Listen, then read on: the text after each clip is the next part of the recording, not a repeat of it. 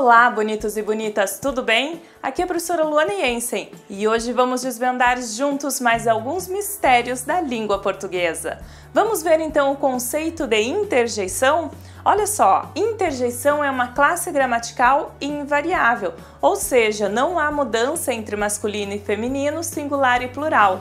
A função da interjeição nada mais é do que expressar sentimentos, seja de alegria ou de tristeza, por exemplo. Olha só essas frases. Puxa, isso que foi jogo. Então quer dizer satisfação pelo jogo. Ou ainda, caramba, é verdade que isto é para mim?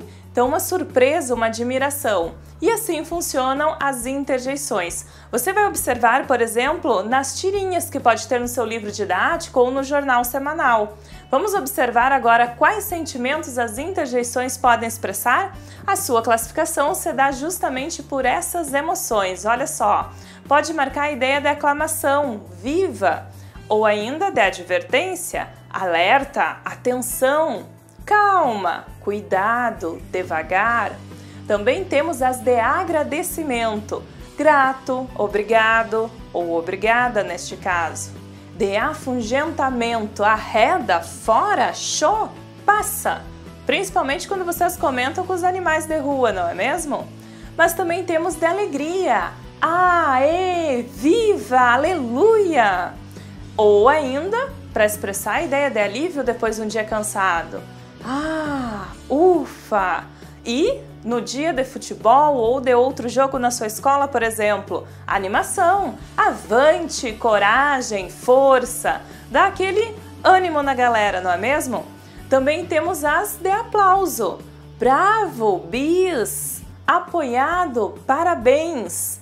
Ainda vamos classificar de concordância. Claro, sim, ótimo. Ou então de desapontamento, Uai, ué, hum. Também pode expressar a ideia de desejo. Pudera, tomara, oxalá.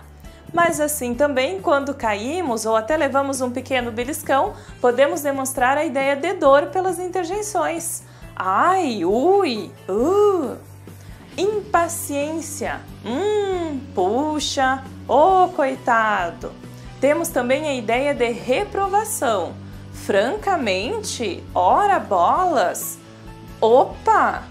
Também podemos saudar alguém com as interjeições. Olá, oi, salve, viva! Ou ainda mostrar a ideia de silêncio. Shh, psiu, silêncio. Certo? Essas são as interjeições. É só você sempre se lembrar que é a ideia das emoções, dos sentimentos. Então aproveita e já faça agora os exercícios aqui no Super Ensino e reveja o vídeo sempre que necessário. Até a próxima!